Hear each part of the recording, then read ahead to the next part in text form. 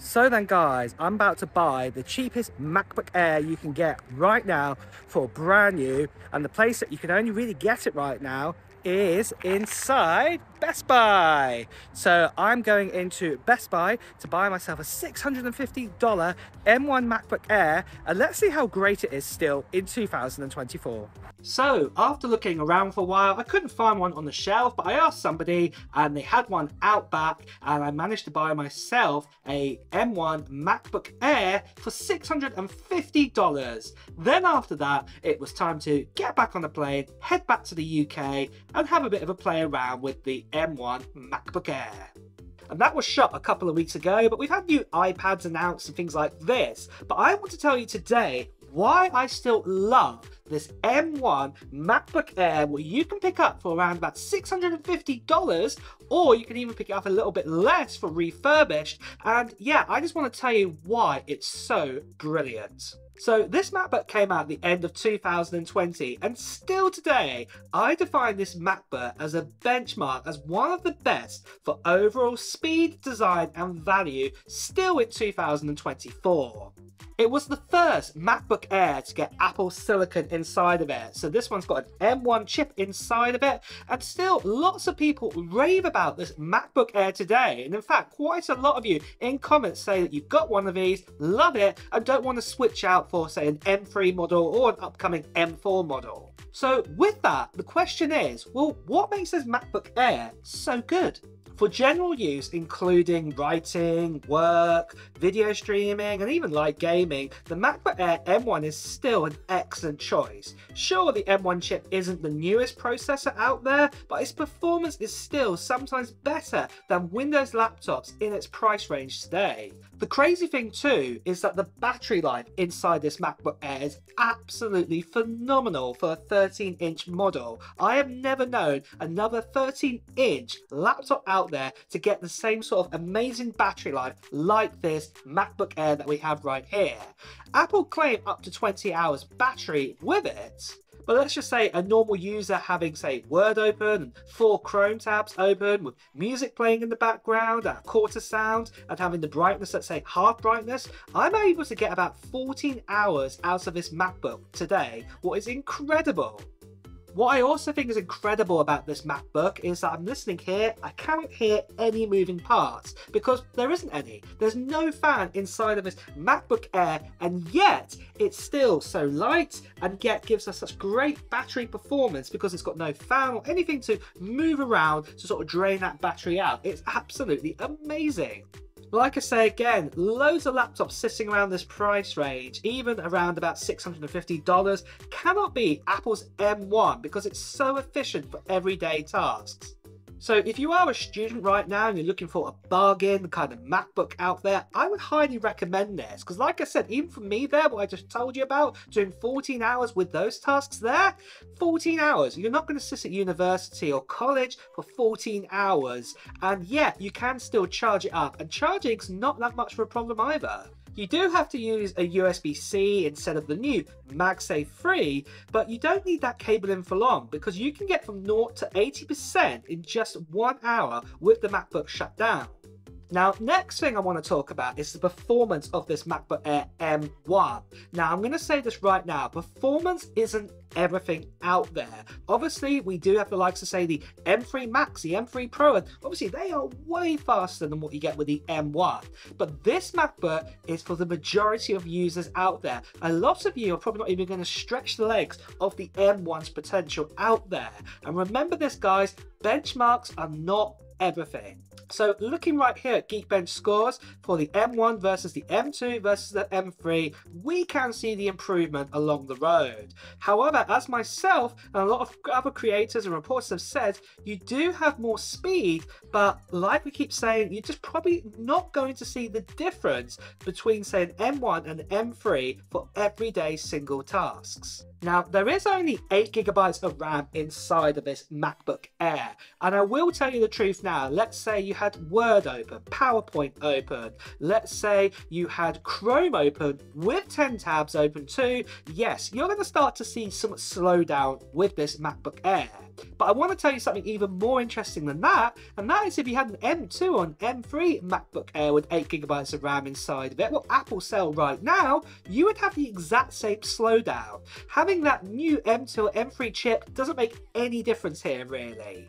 Like I'll say again, for the majority of people who'll be buying this MacBook for just saying doing Word documents, writing up essays, browsing the web, sorting out their social media, maybe fiddling around with their vacation photos and videos and things like that, also sorting out your emails too, you really are not going to see a difference here. And just to show this, even if I did a cold start here on opening Word on an M3 MacBook Air versus the M1 here, the M3 opened Word about one second quicker, what is nothing when the totals were 12 and 13 seconds to open up Word here. If the difference was more like say 12 to 25 seconds, then I would say yeah, there's something in it here and that you should actually pay the premium of getting yourself say maybe an M3 MacBook Air. Now, one other thing to quickly mention about the M1 MacBook Air, you only get 256 gigabytes of storage, and this is quite good for just a few basic documents and things like this, but if you need to expand out your storage, you're better off getting yourself an external SSD, just like the Lexar SL500. It is super thin, and it is an amazing hard drive for something like a MacBook Air, and also for other MacBooks out there too you can get super fast read and write speeds on USB 3.2 Gen 2x2. So this allows you to get read speeds up to 2000 megabytes and write speeds of 1800 megabytes. And as you just saw there, it's still really fast with the USB 3.2 Gen 1 speeds here, what the MacBook Air M1 offers. The hard drive is also super slim and also super light. You can also use it with your iPhone to do ProRes recording, say on an iPhone 15 Pro model. And also, if you're worried about this hard drive getting too hot, well, there's some great benefits what this hard drive has. It has a global leading NAND flash controller manufactured specifically for the SL500, and it only uses a single NAND chip inside of it, reducing power consumption and heat generation. And the design of the case around here also dissipates also heat really easily away from it. Like I said, this is one of the thinnest and lightest SSDs I've ever used. It's even thinner than say my iPhone 15 Pro Max as you can see right here. And if you want to find out more information about this Lexar SL500, then do check out the information that's in the description of this video right now. Now, for things like Photoshop with lots of raw layers and things like this, and let's say you're also going to do, say, video editing with Final Cut Pro and all of this too, well, to be honest, it can do it, but really it's not designed for this. It doesn't have a fan inside of it to keep it cool, and you are going to start to throttle. But this is not what this MacBook Air is for. You shouldn't be buying one of these to do those kind of tasks every single day because yes, your get slow down. Don't get me wrong, it can handle those tasks, but it will start to slow down and it also will start to get hot. And that is why the MacBook Pros exist out there with higher amounts of RAM, with fans inside of them, and also more cores inside of them too, to actually do those kind of tasks more efficiently and faster and cooler for you.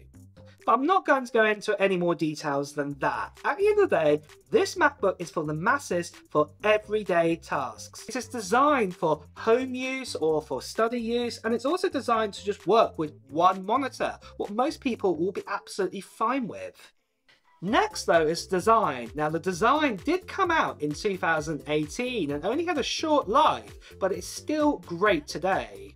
It is super easy just to pick up and yeah, it just feels really, really light as well. And also, I still love this kind of sort of slated, slanted design, what the new M2 and M3 MacBook Air will not give us today.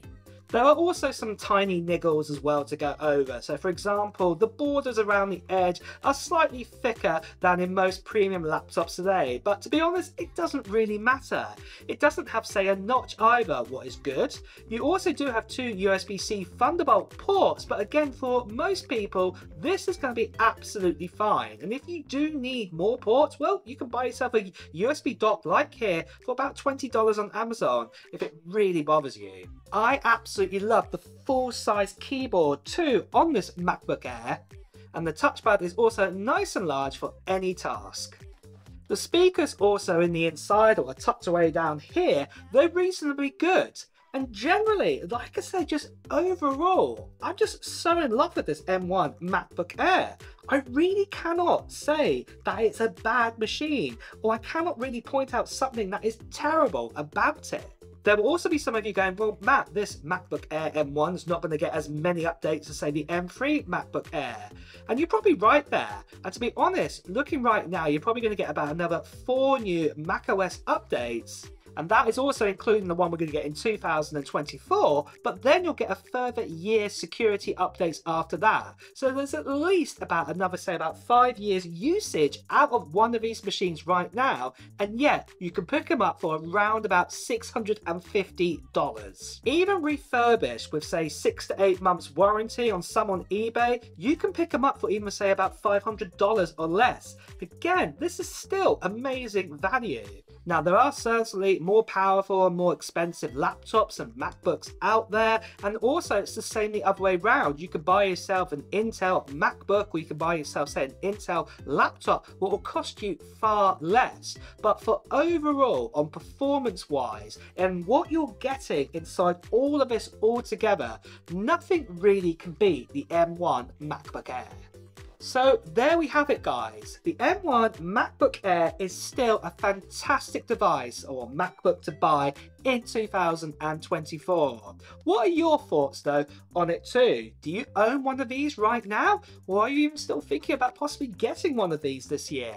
Let me know in the comments below. And on that note as well guys, it's time to wrap up this video. So if you have enjoyed watching it, please do press the like button. Also you want to hear the latest Apple news, reviews and comparisons, please also make sure you subscribe to this channel and also hit that notification bell too. Until next time guys, I'll see you really soon. Take care. Bye bye.